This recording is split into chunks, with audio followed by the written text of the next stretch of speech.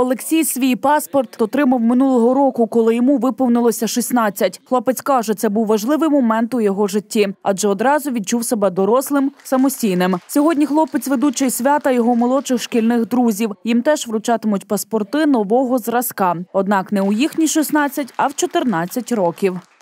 У мене ID-карточка ці нові, що вже тепер дають.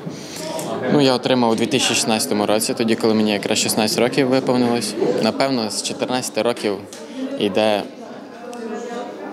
знаходиться е, за свої вчинки відповідальність іде. Самі винуватці свята розуміють важливість процесу. кажуть, доволі швидко держава вирішила, що вони готові до дорослого життя.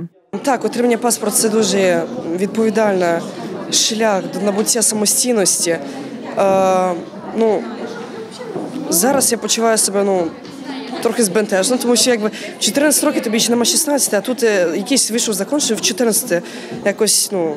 Ти не зразу знаєш, що ти получаєш паспорт. З отримання паспорту я це починається нове життя, е, життя самостійне вже. Ти вибираєш свій шлях.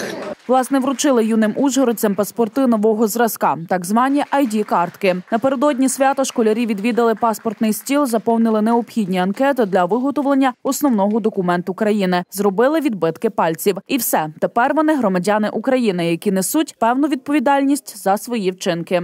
Є відповідні стандарти. Ми йдемо вперед. Ми не можемо е, держава, розвиток держави не можемо дивитися назад. Це знімає багато питань. Це ж і зовнішнє тестування. Ми ж знаємо, скільки є проблем, що у 16 років потрібно реєструватися дітям ви- випускні, дехто не має паспорта. Вручення id паспортів в Ужгородський ЗОЖ номер 4 було справжнім святом. Діти підготували концерт, склали жартівливий іспит справжнього українця. кажуть, готові до дорослого життя.